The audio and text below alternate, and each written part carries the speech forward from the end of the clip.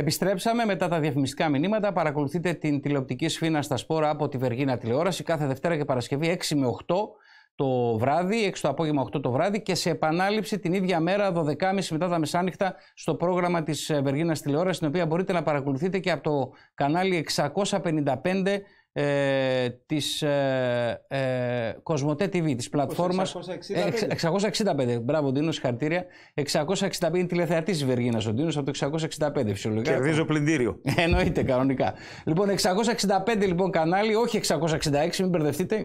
665 ε, Σωστά δεν το είπα το κανάλι παιδιά από το Control. Ε, καλά το είπα, εντάξει. Για να μην, ε, γιατί βάρεσα ένα δοκάρι, με βοήθησε ο Ντίνος Κοράραμε, αλλά μην κάνουμε κανένα λάθος. Λοιπόν, και συνεχίζουμε την κουβέντα με τον ε, κύριο Κούλιο Αποστολίδη που είναι μαζί μας.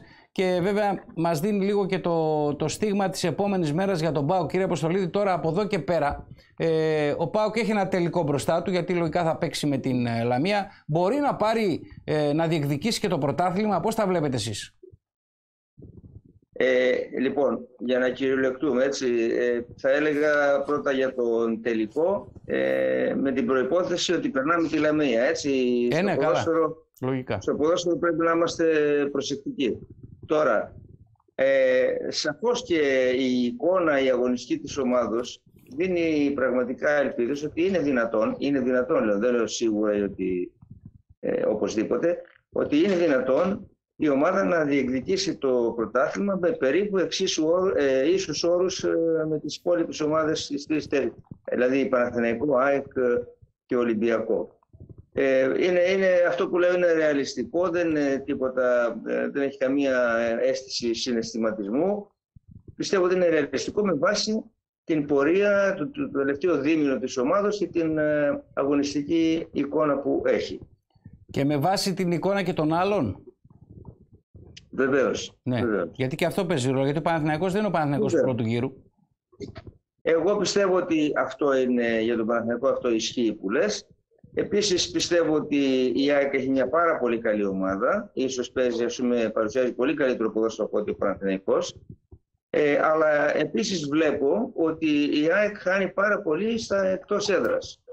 Χάνει πάρα πολύ από την δυναμική της δηλαδή. Στην ναι. εκτός έδρας. Δεν είναι η ίδια ΑΕΚ όπως όταν παίζεις στην Αγία Σοφιά. Ναι. Ο Ολυμπιακός είναι επίσης μια ομάδα η οποία τελευταία έχει ανέβει και αυτή πάρα πολύ και μπαίνει στην διεκδίκηση. Άρα λοιπόν, ε, να το πω ε, λίγο πιο ρεαλιστικά, θα έλεγα ότι οι τέσσερις αυτές ομάδες, ε, για τις τέσσερις αυτές ομάδες παρουσιάζεται ένα πολύ ενδιαφέρον μια μέλλον και ενδιαφέρουσα πορεία στο πρωτάθλημα. Μάλιστα. Για το πρωτάθλημα. Δίνω, εσύ τι λες; Ε, το πρωτάθλημα βέβαια μπορεί να έχει ακόμα πολύ δρόμο και ο Πάοκ να βρίσκεται στο καλύτερο του σημείο, καθώς αγωνιστικά βλέπουμε ότι υπάρχει μια σαφέστατη βελτίωση μετά την επανέναρξη των αγωνιστικών υποχρεώσεων στο δεύτερο γύρο.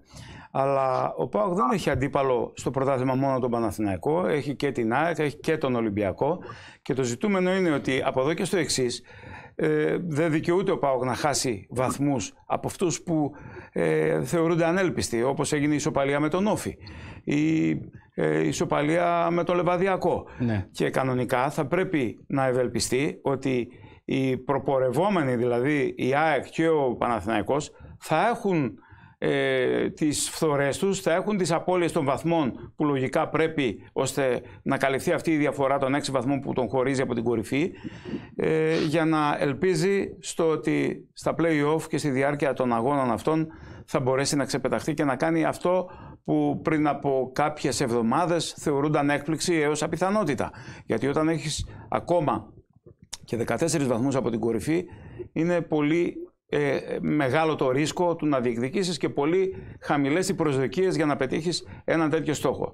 Σε ό,τι αφορά το κύπελο να πω ότι ε, ο ΠΑΟΚ θεωρώ ότι είτε έτσι είτε αλλιώς, δηλαδή είτε εύκολα είτε δύσκολα, τη Λαμία θα την προσπεράσει ε, αφού υπάρχει και ένα παιχνίδι στο γήπεδο της Τούμπας. Από εκεί και μετά όμως οι προοπτικές είναι 50-50 γιατί δεν ξέρουμε ποιος θα είναι ο αντίπαλος στον υποτιθέμενο προς το παρόν τελικό και τη συμμετοχή του ΠΑΟΚ σε αυτό το τελικό γιατί δεν έγιναν ακόμα οι αγώνες με τη Λαμία και με το δεδομένο ότι θα περάσει ο ΠΑΟΚ στον τελικό έχει μπροστά του ένα ε, δύσκολο αντίπαλο, τον οποίο βεβαίως και μπορεί να καταβάλει, όπως το έχει δείξει αφού τον Ολυμπιακό τον νίκησε και στο πλαίσιο του πρωταθλήματος. Ε, με την ΑΕΚ υπάρχει. Ένα ματς είναι. Ένα ματς είναι και βέβαια όλα είναι ανοιχτά. Ωστόσο, οι πιθανότητες ε, είναι σχετικά μοιρασμένες γιατί το ίδιο μπορεί να λένε και οι αντίπαλοι του ΠΑΟΚ, δηλαδή η ΑΕΚ και ο Ολυμπιακός. Ναι, εδώ βλέπουμε και πλάνα από τον αγώνα ΠΑΟΚ Λαμία, όπου ο ΠΑΟΚ πέρασε με 3-0 από την Λαμία. Δεν είχε δηλαδή πρόβλημα εκεί. Δεν νομίζω γιατί, πολύ σωστά είπε ο κύριος Αποστολίδης, ε, να πούμε ότι υπάρχει το δεδομένο ότι ο ΠΑΟΚ θα περάσει τη Λαμία ας πούμε, για να πάει τελικό. Λογικό είναι αυτό, μπάλα είναι, αλλά δεν νομίζω να υπάρξει κάποιο τέτοιο πρόβλημα. Και επίσης, ε, κύριε Αποστολίδη, επειδή μιλήσαμε για τη μεταγραφή του συγκεκριμένου Πολωνού ποδοσφαιριστή που ολοκληρώνεται του ε, Κετζιόρα, ολοκληρώνεται αύριο ε, φυσιολογικά 100% πάει και για ένα φόρ. Η ενίσχυση αυτή πιστεύετε ότι χρειαζόταν, ότι είναι απαραίτητη; Μήπως χρειάζεται και πουθενά αλλού κάποιος παίχτης; Ε, όχι, νομίζω μία ενίσχυση στα κρέα μπακ και μία ενίσχυση στη θέση του Σέντερφορ για φέτος είναι ε, αρκετές αρκεί να έχουν μια σχετική ποιότητα, έτσι, να είναι ποιοτικές μεταγραφές. Ναι. Ε, από εκεί πέρα ε, ε, η υπόθεση για του χρόνου, αν θέλουμε λίγο να βάλουμε αυτή την προοπτική, είναι ότι να γίνουν ειδικότερα για του χρόνου, από τώρα για το καλοκαίρι δηλαδή, να γίνουν όχι πολλές, ε, ε, λίγες μεταγραφές, αλλά να είναι σίγουρα ποιοτικές. Δεν μπορούμε να έχουμε την πολυτέλεια να μην κάνουμε ποιοτικές μεταγραφές το καλοκαίρι, ε, εφόσον θέλουμε του χρόνου να πρωταγωνιστήσουμε. Μάλιστα. Κύριε Αποστολίδη, ευχαριστούμε πάρα πολύ για την παρουσία σας στην εκπομπή. Ε, πάντα Είστε καλά και αν, αν μου επιτρέπετε έτσι μισό λεπτό. Παρακαλώ. Ήθελα να προσθέσω έτσι ένα στοιχείο όσον αφορά ε, τους νέους παίχτες που έρχονται, παίζουν, ξεκινούν στην πρώτη ομάδα και αρχίζουν να καθιερώνονται και είναι ταλέντα ναι. μεγάλο, όπως είναι ο Κωνσταντέλιας, ο Τζίμας, ο Κορτετσιάνη, λέω εγώ, και τα άλλα παιδιά, Λίρατζης κτλ. Ε, πρέπει να υπάρξει μια έτσι λίγο διαφορετική, διαφορετικού προσανατολισμού ε, τακτική το, το πόσο θα κρατήσει η ομάδα τους παίκτες αυτούς δικούς της και πότε θα πουλήσει, εάν θα πουλήσει και πότε θα τους πουλήσει. Είναι ένα μεγάλο θέμα Ωραίο αυτό. θέμα. Συζητιέται ήδη εδώ και καιρό. Ωραίο θέμα, ναι. Το μόνο που μπορώ να πω για την ώρα, επειδή ξέρω ότι η εκπομπή έχει περιορισμένο χρόνο, είναι ότι δεν πρέπει από την πρώτη χρονιά, από τα, από τα πρώτα παιχνίδια, ένα νέο παίχτη ταλέντο να κοιτάμε πώς θα τον πουλήσουμε και, τα, και όλη αυτή η ιστορία που γίνεται πούμε, με τα παιχνίδια, τα, τα μανατζερικά κτλ. Ένας παίχτης τέτοιος πρέπει να μείνει ανάλογα τον παίχτη από δύο έως τρία χρόνια στην ομάδα, ούτως ώστε και να προσφέρεις στην ομάδα και να ανδρωθεί περισσότερο και όταν πάρει μεταγραφή να μην πάει σαν ε, ξέρω εγώ, ε, υπηρέτησε και να πάει με, με απαιτήσεις να παίξει και να προωθηθεί και άμα το σκεφτείτε αυτό όλο το πακέτο, γιατί είναι μεγάλη συζήτηση, ε, συμφέρει στην ομάδα και παιχτικά και οικονομικά και, και, και, και στον παίχτη τον ίδιο. Ναι. Αυτό που λες Κούλη ε, είναι ε, μια συζήτηση η οποία βεβαίως και ξεκίνησε Έχει ήδη να γίνεται με αφορμή τις λαμπρές παρουσίες και εμφανίσεις του Κωνσταντέλια αλλά ταυτόχρονα έρχεται στο τραπέζι της επικαιρότητας και το γεγονός ότι ο ΠΑΟΚ ε, έδωσε ποδοσφαιριστές οι οποίοι δεν είχαν περάσει από αυτήν την τριετή δοκιμασία όπως την ανέφερες και μιλάω για τον Χρήστο Τζόλι ο οποίος μπορεί να πήγε στην Norwich, στην Norwich με ένα πολύ καλό οικονομικό αντάλλαγμα και οι Άγγλοι να υποδέχθηκαν ένα από τα ε, νέα ευρωπαϊκά ταλέντα από τους νεότερους καλύτερους ποδοσφαιριστές της Ευρώπης αλλά πολύ γρήγορα και ένας τραυματισμός όταν συνέβη άφησαν τον νεαρό ποδοσφαιριστή στο περιθώριο με αποτέλεσμα να πάει δανεικός στην Ολλανδία, στην Βέντε να παίζει και εκεί μάλιστα ένας άλλος τραυματισμός τον άφησε για μήνες έξω. Αυτό το ενισχύει το αυτό που λέει ο κ. Αποστολής, αυτό που λες. Ναι, βεβαίως. Εγώ, νομίζω, εγώ, νομίζω, εγώ νομίζω ότι ένας νέος παίκτη που παίζει στον ΠΑΟ ε, θα πρέπει να φύγει να πάει σε ομάδα ανώτερης, σε ανώτερο πρωτάθλημα, μόνο όταν είναι έτοιμος για να κάνει τη δουλειά και να πάει με απαιτήσεις εκεί, όχι να παρακαλάει να παίξει η πρώτη ομάδα. Έχει δίκιο. Έχετε απόλυτο δίκιο και Επίσης αυτό συνέβη και με, το, με την περίπτωση του Δημήτρη Λιμνιού, ο οποίος ναι. πήγε στην κολονία, δεν σταθεροποιήθηκε, ναι. έπαιζε κάτι ημίχρονα ε, 60 λεπτά κτλ. Και έφυγε για να πάει επίσης στην Ολλανδία, όπου του συνέβη και αυτός ο τραυματισμός, όχι στην Ολλανδία, στην Εθνική Ελλάδα και τον άφησε πάρα πολύ πίσω. Με συνέπεια τώρα να μην ξέρουμε κι εμείς πού βρίσκεται, σε ποιο επίπεδο, γιατί ανήκει πλέον στην κολονία. Δεν ξέρουμε με βάση το ρεπορτάζ αν είναι έτοιμος για να ξαναμπεί πάλι στους αγωνιστικούς χώρους. Αλλά ένα ταλέντο μπορεί να χαθεί έτσι ή να παραπέσει. Και το έχουμε δει σε πάρα πολλές περιπτώσεις. Και, οι συνέπειες είναι πάρα πολλές αν χαθεί ένα ταλέντο Δηλαδή πρώτον οικονομικά ο Πάγου θα πάει διότι θα έχει σίγουρα ποσοστά αν ε, μεταγραφής του ταλέντου του, ότι θα αποκτήσει, ας πούμε δεν θα αποκτήσει το, το πολύ καλό όνομα οι ακαδημίες του ΠΑΟΚ όσον αφορά την παραγωγή παιχτών που, που μένουν, παίζουν και, και αναπτύσσονται στη διάρκεια, όπου και να είναι, και πολλά άλλα. Εν πάση είναι ένα μεγάλο θέμα, ίσως ε, τώρα που το ανοίξαμε δεν ξέρω αν δεν Ωραίο, ωραίο θέμα. Πολύ ωραίο θέμα. Πάρα πολύ ωραίο θέμα και νομίζω ότι νομίζω συμφωνούμε όλοι και οι τρεις συμφωνούμε. Νομίζω και οι τηλεθεατές που μας βλέπουν. Πρέπει να παίξει, να ψηθεί και μετά να φύγει. Γιατί αν φύγει νωρίτερα μπορεί να εκτεθεί. Και το είναι, τα παραδείγματα που αναφέρατε είναι χαρακτηριστικά. Να μην οι συνέπειες είναι πολλές. Βεβαίως. Ευχαριστούμε πολύ κύριε Αποστολίδη. Να είστε καλά. Καλό βράδυ. Και εγώ, γεια σας. Γεια σας. Να είστε καλά. Γεια, σας. Λοιπόν, ε, θα πάμε λίγο, θέλω λίγο να δούμε την κάρτα με, την, με τα αποτελέσματα του κυπέλου και ε, Βεβαίως να δούμε και να θυμίσουμε και στον κόσμο ε, ποιοι θα παίξουν, πώς θα παίξουν κλπ. Ε, και να πάμε και στο στέλιο, εδώ είναι η κάρτα. Πασεραϊκό ΑΕΚ λοιπόν 1-3, τελικό, ε, τελικό 1-6 με τα δύο παιχνίδια. Συνολικό. Συνολικό, ναι, συγγνώμη. Ε, Άρης Ολυμπιακός 0-1, συνολικό 0-2. Λαμία Παραλίμνιο 4-2, συνολικό 6-3. Μπράβο στο Παραλίμνιο. Ε, Παναθηναϊκός ΠΑΟΚ 1-1, συνολικό 1-3 με το 0-2 της Τούμπας. Περνάνε λοιπόν ΑΕΚ Ολυμπιακός στα επόμενα ζευγάρια, οι δύο πρώτοι και Λαμία ΠΑΟΚ με, την, με το πρώτο μας να γίνεται στη Λαμία. Ε, και θα πάμε τώρα στο Στέλιο Στεριάδη γιατί ε, νομίζω έχουμε μια πληροφορία. Καλησπέρα Στέλιο από το sfina.gr. Καλησπέρα. Καλησπέρα Νίκο, καλησπέρα και στον Τίνο, καλησπέρα σε όλους. Καλησπέρα. Ε, έχουμε μια πληροφορία ότι το μάτς Λαμία ΠΑΟΚ θα γίνει Τετάρτη και το μάτς ΑΕΚ Ολυμπιακός Πέμπτη ή ανάποδα; Ναι, αυτό προκύπτει από το ρεπορτάζ. Μάλιστα. Από το κυβερνητικό ρεπορτάζ, το ποδοσφαιρικό, ότι ε, υπάρχει μια, καταρχήν υπάρχει μια κόντρα ανάμεσα στην ΑΕΚ και τον Ολυμπιακό. Ε, γιατί ο Ολυμπιακός ζήτησε το μάτς να μην γίνει στις 8 Φλεβάρι, Τετάρτη, επειδή υπάρχει η επέτειος του, θλιβερού, του θλιβερών ε, σκηνικών με τη θύρα 7 ε, και ζήτησε να γίνει το μάτς 5η 9 του μήνα. Η ΑΕΚ ε, διαφώνησε, αλλά όπως είδαμε και από το πρόγραμμα του Super League που βγήκε πριν από λίγο ε, την επόμενη α, ακριβώς αγωνιστική στο πρωτάθλημα και η ΑΕΚ και ο Ολυμπιακός παίζουν Δευτέρα. Άρα ε, σημαίνει ότι το μάτς της, ε, του κυπέλου ανάμεσα σε ΑΕΚ Ολυμπιακό, ο πρώτος ημιτελικός δηλαδή, θα γίνει την Πέμπτη. Σύμφωνα και αυτό προ, προκύπτει και από το ρεπορτάζ και της ΑΕΚ και του Ολυμπιακού. Άρα, ε, αφού το μάτς ΑΕΚ Ολυμπιακού θα γίνει την Πέμπτη, άρα το Λαμπία ΠΑΟΚ θα γίνει την Τετάρτη. Ναι. 8 του μήνα. Ναι. Αυτό είναι κάτι το οποίο θα επισημοποιηθεί τις επόμενες ημέρες από την ΕΠΟ. Πάντως, εδώ να πούμε ότι την Κυριακή 7.30 ο Πάοκ παίζει με τον, ε, στις 5 Φεβρουαρίου με τον Ολυμπιακό. 5 Φεβρουαρίου. Κυριακή 7.30. Τη Δευτέρα 13 Φεβρουαρίου ε, στις 6 ώρα. Πάοκ ΑΕΚ 19 Φεβρουαρίου Κυριακή και Σάββατο εκτός με τα Γιάννενα στις 7 η ώρα. Σάββατο 25 Φεβρουαρίου. Ναι, έχει βγει το πρόγραμμα πλέον του, του ΠΑΟΚ μέχρι το τέλος της κανονικής διάρκειας του πρωταθλήματος. Ε, τα ντέρμπι είναι όπως αναμενόταν ε, και τα δύο την Κυριακή και με τον Ολυμπιακό και με την ΑΕΚ. Οι έξοδοι στην επαρχία μοιράζονται γιατί ο Πάουκ έχει ούτε λίγο ούτε πολύ τρία μάτς στην επαρχία εκτός έδρας. Στην Τρίπολη θα παίξει Δευτέρα, την ε, μεθεπόμενη Δευτέρα. 13, δηλαδή, 13 Φεβρουαρίου. Ναι, 13 Φεβρουαρίου. Ε, Σάββατο είναι το μάτι στα Γιάννενα. Μπράβο. 25 Φεβρουαρίου. Και και το τελευταίο μάτι είναι 12 Μαρτίου στο Βόλο. Είναι η τελευταία αγωνιστική της κανονικής διάρκειας. Όπως ανακοίνωσε η Super League, ε, μία μέρα μετά θα είναι και η κλήρωση των αγωνιστικών για τα play Μάλιστα.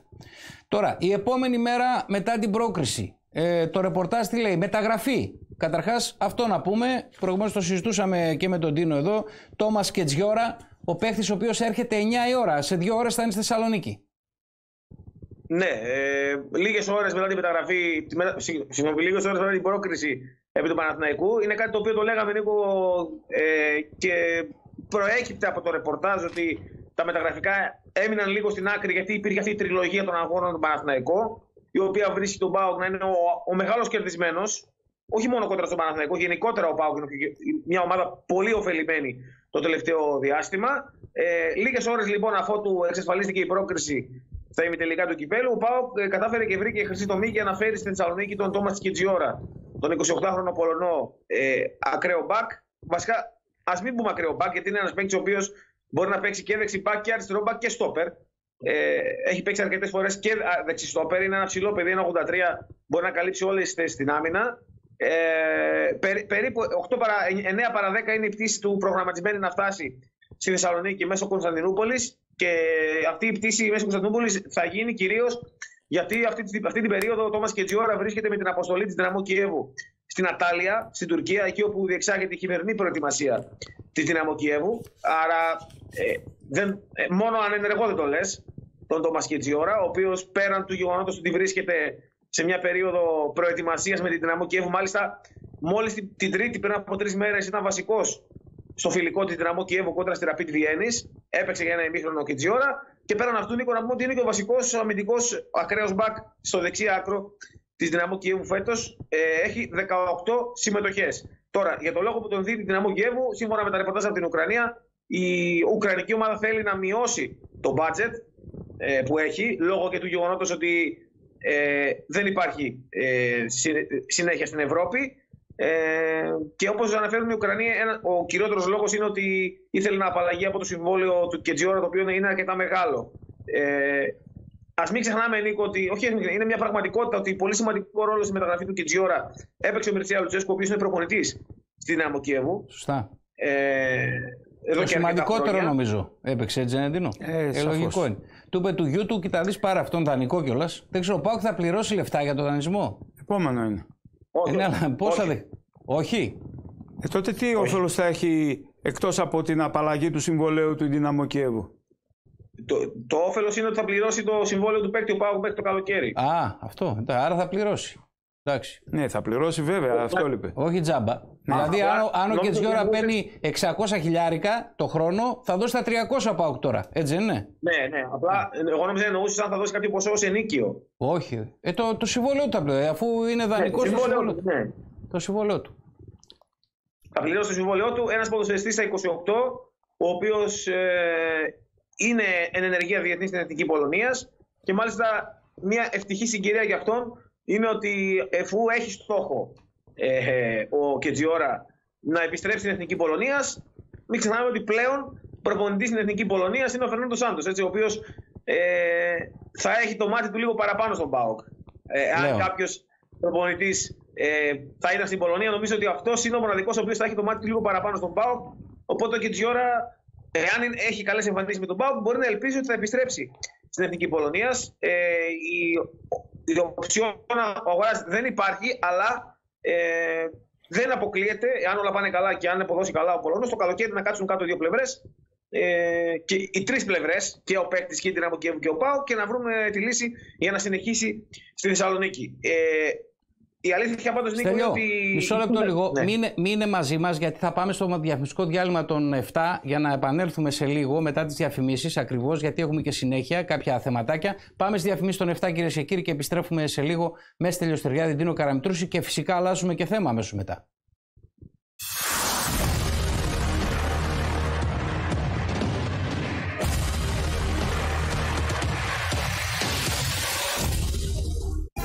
Θερμομονώστε και αναβαθμίστε αισθητικά το χώρο σας, χρησιμοποιώντας την αιχμή της τεχνολογίας. Με το απόλυτο σύστημα εξωτερικής θερμομόνωσης της χρωμοδομής 100% Acryl Thermonosystem. Με θερμομονωτικά πλακίδια ταράτσας και δώματος Thermoflex. Θερμομονωτικό ακριλικό χρώμα εξωτερικού χώρου Thermoflex και πλαστικό εσωτερικού χώρου Thermolife. Χρωμοδομή, χρώμα και θερμομόνωση. Varagons Constructions. Η κατασκευή και ανακαίνιση οικιακών και επαγγελματικών χώρων. Αποκτά τα πιο γερά θεμέλια με τη Varagons Constructions. 10 χρόνια εμπειρίας. 100 και επιπλέον ολοκληρωμένα projects. Τίζουμε το μέλλον. Από τη Θεσσαλονίκη σε όλο τον κόσμο. Varagons Constructions. Fixit Group. Επισκευή και συντήρηση κουφωμάτων αλουμινίου, PVC και σίτες. Η εταιρεία Fixit, στελεχωμένη από εξειδικευμένους τεχνικούς, παρέχουμε λύσεις και υποστήριξη. Στόχος μας, η δημιουργία σχέσης εμπιστοσύνης με τον πελάτη. Η Fixit Group είναι μία από τις κορυφαίες εταιρείες στον τομέα της και εγγυάται βέλτιστο αποτέλεσμα σε ανταγωνιστική τιμή. Η Fixit Group ειδικεύεται και στο πτυσσόμενο κάγκελο, ιδανική λύση για ασφάλεια στο χώρο σας. Fixit Group, Βίτσι 36, στην Άνω Ηλιούπολη. Τηλέφωνο 2316 070 021. Νοσοκόμα στο σπίτι. Αποκλειστικά για την υγεία σας. Με ανθρώπινο πρόσωπο προσφέρουμε πολύτιμες υπηρεσίες εκεί που τις έχετε μεγαλύτερη ανάγκη. Μέσα στο σπίτι σας. Οι νοσοκόμες και οι γιατροί μας 365 ημέρες το χρόνο είναι δίπλα σας. Στο 11311 μαθαίνετε τις υπηρεσίες μας, το χαμηλό τους κόστος και τα προγράμματά μας.